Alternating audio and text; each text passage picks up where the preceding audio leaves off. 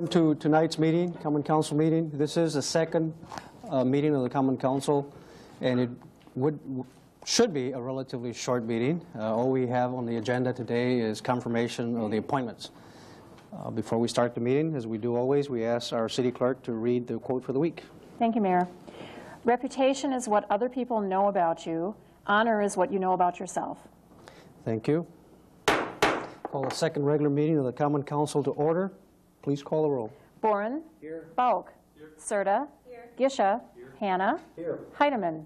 Kittleson. Here. Clayunas. Here. Manny. Excuse. Meyer. Here. Montemayor. Here. Rinfleisch. Here. Ryan. Vanderweel. Verhasselt. And Wangeman. 15 present. Quorum is present. Alderman Bourne, would you lead us in the Pledge of Allegiance, sir?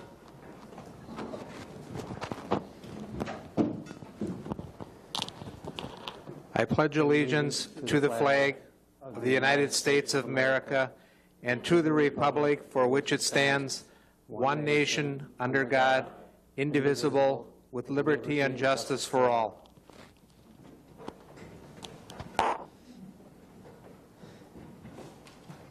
Thank you, Alderman Bourne. Next item on the agenda is approval of the minutes. President Hanna. Mr. Mayor, I move that we approve the minutes of April 17th. Second. Motion and second to approve minutes. Any discussion? There being none, all in favor say aye. Aye. Any opposed?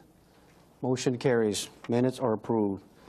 Next item is confirmation of mayor's appointments to standing committees. President Hanna.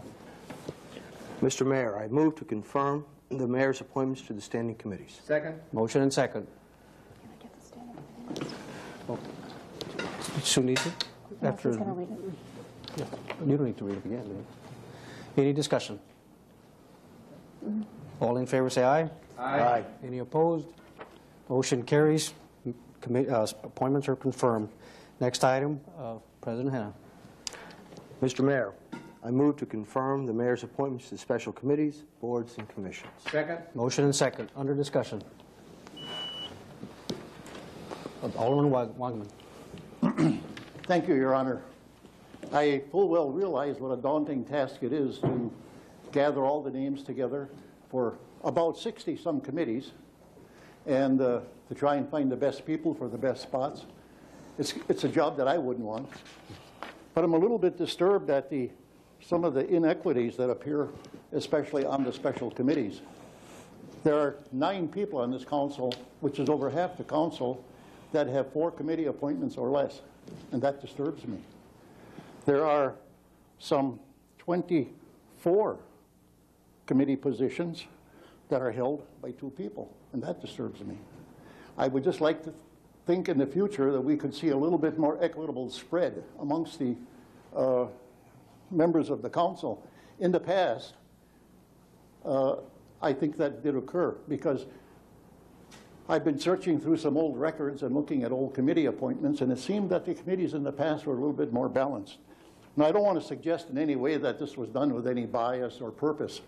I think uh, in the course of making so many decisions, the uh, actual count per person can be lost.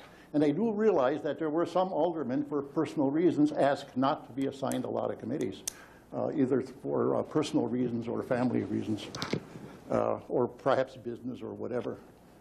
But I just wanted to bring to the council's attention uh, that fact. And I, I wonder if our listeners on TV that watch these proceedings really realize how important committees are.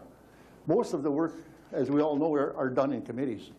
And people ask, they say, why are documents always referred to the committee? They say, why don't you just handle them in the council? Well, you, I'm sure the city clerk knows the answers to that because there's six, sometimes 60 or 70 some documents.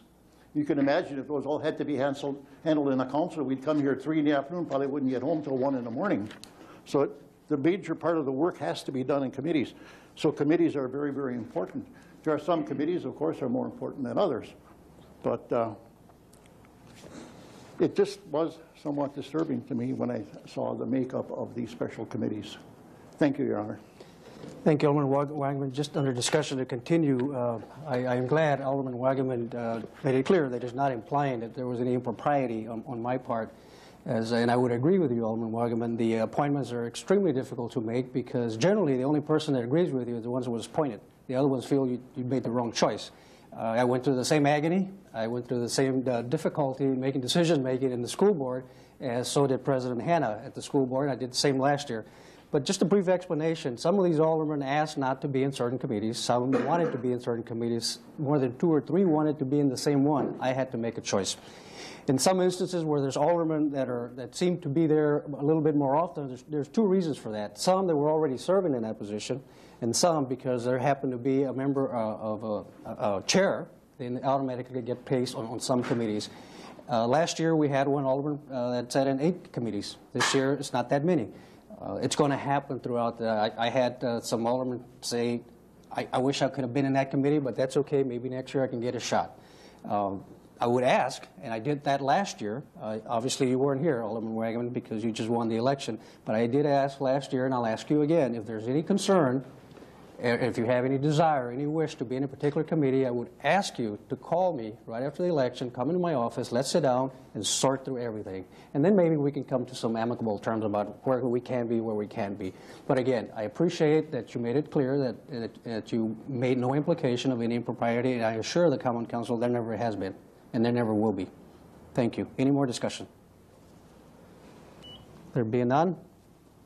All those in favor say aye. Aye. Any opposed? Motion carries, one opposition. We got one more?